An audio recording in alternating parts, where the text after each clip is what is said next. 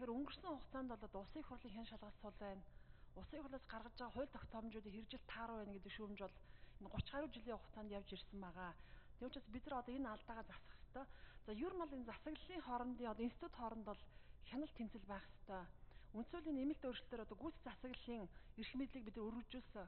Одоо тэр хэрээр гүйц засаглалын одоо үйл ажиллагаанд институтуудын үйл ажиллагаанд бид нар хяналт тавих хэрэгтэй.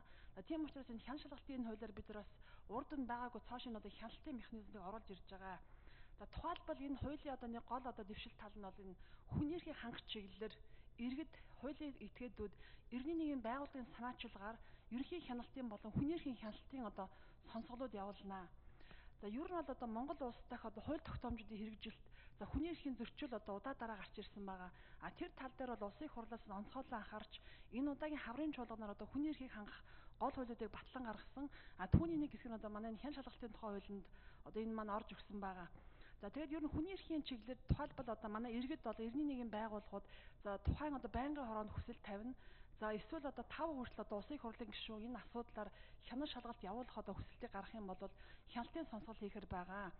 За мөн энэ олон улсын жишгээр энэ хяналт шалгалтын одоо гол институт болох одоо хяналтын одоо төр хороо гэдгийг буюу мөрдөн шалгах төр хороог байгуулна. За энэ байгууллага бол одоо нийтийн ашиг сонирхол бүхий одоо томоохон асуудлуудаар хянан шалгалт явуулна. За тэгэд энэ одоо төр хянан шалгах хорооны маань одоо бүрийн эрх нотлох баримт цуглуулах, гэрчийг дуудах, шинжит томилох гэх мэт нь бол олон улсын жишгээр одоо парламентын шүүхийн одоо дайтай ингэж ажиллах хэрэгтэй байгаа. За тийм учраас бид нар одоо иргэдийн дунд удаа дараагийн хүлээлт үүсгэсэн шийдэгдээгүй байгаа томоохон хэрэгүүд за мөн одоо ноцтой анхаарал татсан асуудал За амгц гүшин гүйцэж оруулна.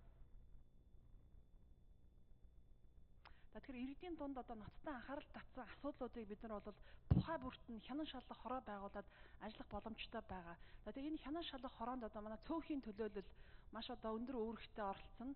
За тэгээд энэ олон улсын жишгээр энэ одоо хянан шалгах одоо үйл ажиллагаа түүний одоо зохицуулалт хянан шалгалтын үр дүн болвол одоо маш өндөр түвшинд хийгднэ гэдгээр энэ хууль маань одоо маш юм чухал эд болж байгаа. За тийм учраас улсын хурлын одоо хянан шалгалт засаглал хоорондын тэнцвэрийг хангахад энэ хууль маань бас томоохон одоо дэвшил авчирна гэдэгт бол энэ хууль санаалж гişүүд бид нар бол бас итгэлтэй байгаа.